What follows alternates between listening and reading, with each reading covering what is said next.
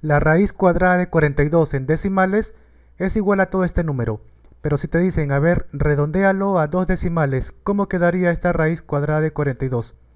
Como dice dos decimales, vamos a contar dos números después del punto. Acá 1, 2. Y ahora observamos al número que quedó después, que en este caso es el 0. Si es que este número es menor que 5, entonces no hay ningún cambio, queda 6.48.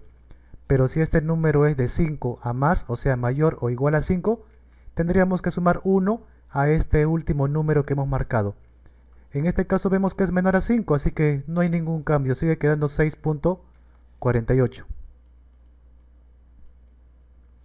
Y si nos dicen, a ver, redondéalo a 3 decimales, muy similar, contamos tres números ahora de acá, 1, 2, 3, hasta aquí.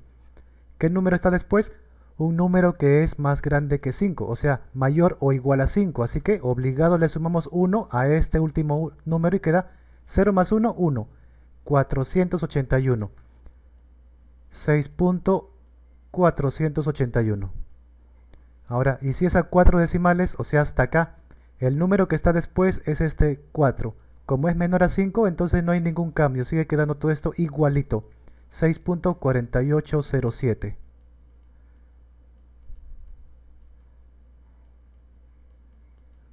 Listo, entonces ya hemos redondeado todo. Acá es punto, punto y punto. O también coma decimal. Listo. No olvides comentarme lo primero que se te venga a la mente, lo que sea, cualquier cosa.